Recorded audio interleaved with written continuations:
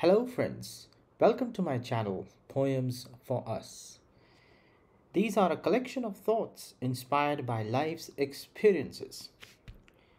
And the topic of my poem today is a cup of tea. Yes, a very simple cup of tea.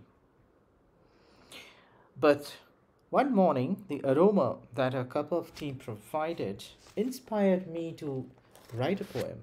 And here it is.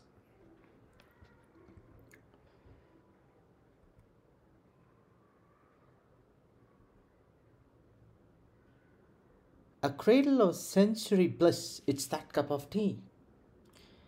When the aroma gently surrounds the olfactory, taking a deep breath up close, handle in one hand, I feel the warmth of the cup cocooned in my palms.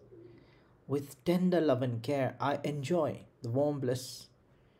This is something else that makes the usual sounds of its preparation even more interesting. I feel blessed makes me share tons of blessings.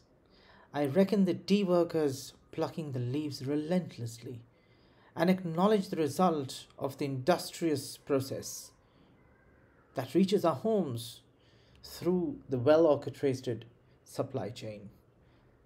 Thank you, Mom, for the super aromatic cup of tea.